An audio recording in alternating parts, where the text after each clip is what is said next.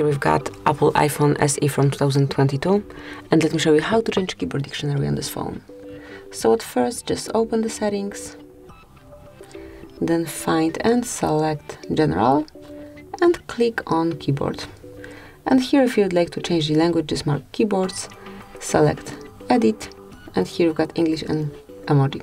So then add new keyboard, pick the one that you would like to apply and you can smoothly remove uh, English now, tap on delete, tap on done, and that's it. So that would be your uh, one and only language. Obviously, you've got also emoji, but that's a bit different, uh, just the pictures.